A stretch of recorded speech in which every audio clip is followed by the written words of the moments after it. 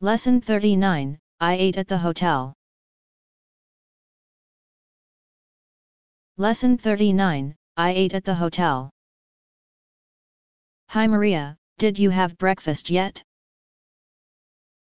Yes, I ate at the hotel with my son and my husband. Oh, they have good food there. What did you have? I had some cereal, fried eggs and orange juice.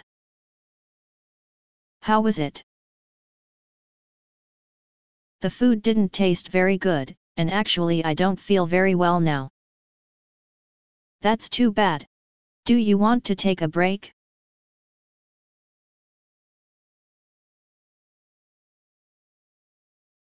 No, I'm going to go back to the hotel at lunchtime to lie down.